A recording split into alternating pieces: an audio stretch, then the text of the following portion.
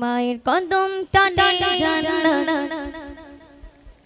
বলে প্রিয় নবী হযরত খোদা পাঠালো নেয়া। ছোড়ে গোনা দেখিলে সুরা। মায়ের কদম তলে জান্নাত বলে প্রিয় নবী হযরত খোদা পাঠালো নেয়া ছোড়ে গোনা দেখিলে সুরা মায়ের কদম তলে জান্নাত বলে প্রিয় নবী হযরত খোদা পাঠালো নেয়া ছোড়ে গোনা দেখিলে সুরা দশ মাসে দশ দিন কদরে রেখেছিল মা। শুয়েছিল কত ব্যথা কত না বেদনা। দশ মাসে দশ দিন কদরে রেখেছিল মা। শুয়েছিল কত ব্যথা কত না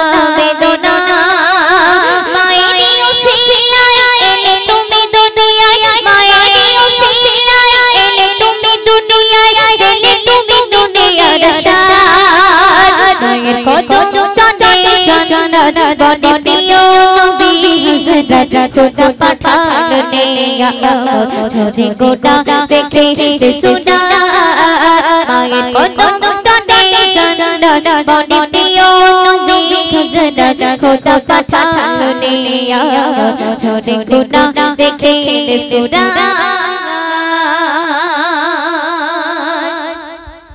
শুধু ঘুমে না ঘুমাইরি দুধে না গায়ের ছালে যদি মায়ে ছোটা বানা শুধু ঘুমে না ঘুমাইরি দুধে না গায়ের ছালে যদি মায়ে ছোটা বানা মাসুমালো নাটকে চাই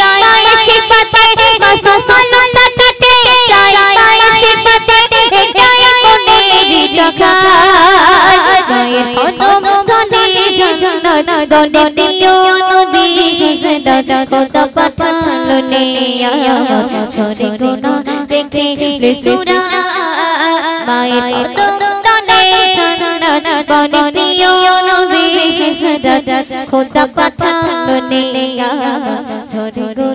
দেখে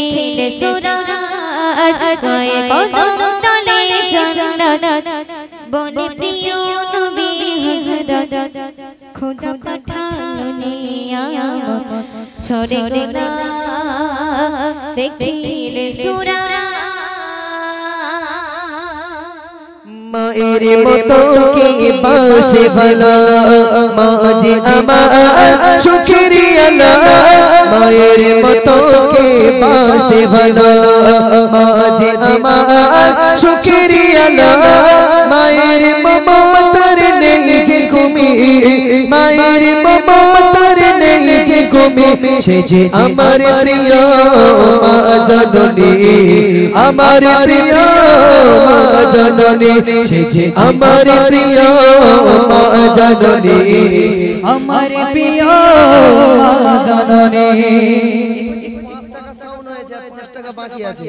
বলো সে যে আমার প্রিয় জননী আমার প্রিয় জননী সে যে আমার প্রিয় জননী আমার প্রিয় জননী মায়ের মতো কে পাশে বালা মাঝে আমার সুখের আলা মায়ের মমতার নেই যে কমি মায়ের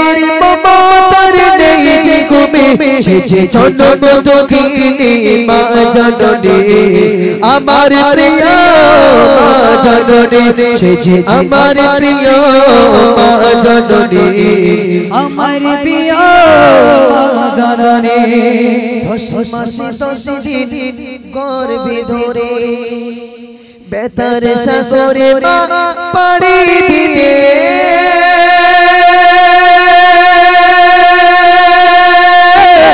দশ মাসে দশ দিন গর্ভে ধরে বেতার সাগরে মা পাড়ি দিয়ে নীরবে চরে মায়ের চোখের পানি নীরবে চরে মায়ের চোখের পানি। সে যে জন্ম দুঃখিনী মা জননী। আমার প্রিয় মা জননী। এসেছে আমার প্রিয় মা জননী। আমার প্রিয় জননী। জানেন মায়ের পেটে যখন একটা সন্তান থাকে দশ মাস, দশ দিন যখন মায়ের গর্ভে একটা সন্তান থাকে হ্যাঁ এই সন্তানটা মায়ের কলিজাতে সাড়ে চার হাজার বার লাথি মারে দুনিয়ার মুখ দেখার আগে। আমাদের মতো হতমাগা আমাদের মতো মানে হতভাগারা মায়ের কলিজাতে সাড়ে চার হাজার বার লাথি মেরে তবে আমরা এই দুনিয়ার মুখ মুখ দেখেছি, কম জ্বালান জ্বালাইনি আমরা মা মায়েদেরকে। হ্যাঁ যেই মা একটু উঠে দাঁড়ায় আবার লাথি মারি মা বসে পড়ে।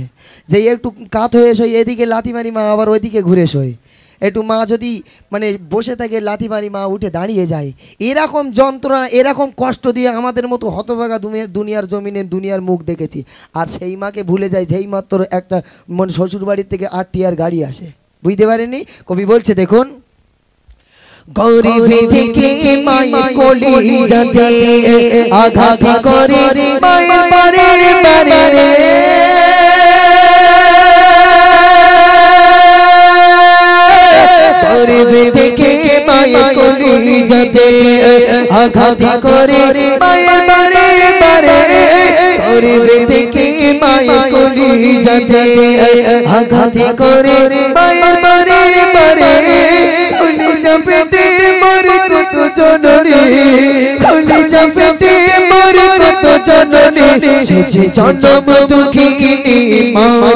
জননী, আমার প্রিয় সেছে আমার প্রিয় জননী, আমার প্রিয়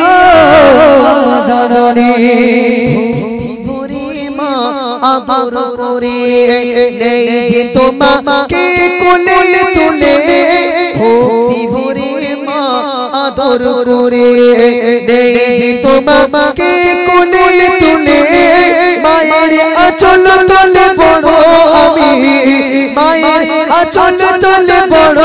আমি সে যে চঞ্চল দুঃখিনী মা জননী আমার প্রিয় মা জননী সে যে আমার প্রিয় মা জননী আমার প্রিয় জননী শেষ কথা এবার কিন্তু ফাইনাল পরীক্ষা হচ্ছে।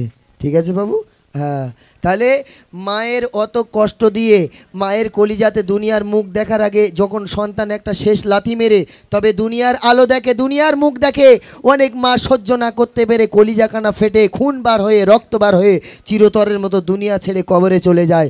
সেই মা এত যন্ত্রণা সহ্য করার পরে যখন একটা সোনার টুকরো যখন দুনিয়ার জমিনে আসে, নিয়ে যেই মায়ের কাছে দেয়, মায়ের মুখে সঙ্গে সঙ্গে হাসি ফুটে যায়। তাই কবি শেষ কথায় বলছে, দেখুন মায়ের কোলে তুমি বড় হলে কেমন করে মাকে ভুলে গেলে?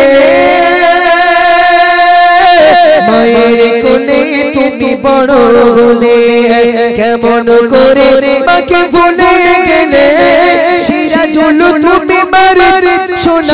সোনার খনি তুমি মার সোনার খনি সে যে দুঃখিনী মা জননী, আমার প্রিয় মা জননী, সে আমার প্রিয় মা জননী, আমার প্রিয় মা জননী, মায়ের মতো কি বাসে ভালো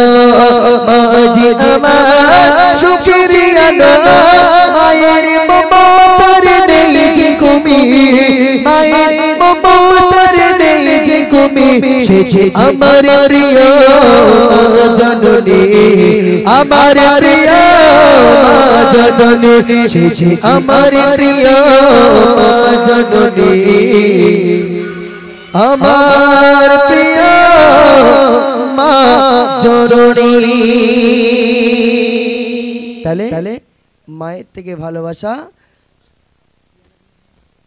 সন্তানের জন্য আর পৃথিবীর জমিনে আর কেউ দিতে পারে না, কারণ মায়ের থেকে বড় নিয়ামত আল্লাহ পাক রব্বুল আলমিন সন্তানের জন্য আর কিছু করেনি। মায়ের কাছ থেকে দোয়া নিলে, মাকে ভালোবাসলে আল্লাহ পাক খুশি হয়ে ওই সন্তানকে জান্নাত দান করে, কিংবা বাড়ির থেকে যখন বেরিয়ে যাবেন, মায়ের কাছ থেকে শুধু এতটুকু দোয়া নেন যে, আম্মা যান, আমি কাজে যাচ্ছি, রাস্তায় যাচ্ছি আমার জন্য একটু দোয়া করো। এটুকু বলার জন্য আপনি মায়ের কোল থেকে যেমন রাস্তায় গিয়েছেন, আল্লাহ পাক তেমনভাবে আপনার মায়ের কোলে আপনাকে ফিরিয়ে দেবেন। আ? আমরা মাকে বলে যাবার সময় পাই না। খবরদার! মায়ের মনে কষ্ট দেবেন না।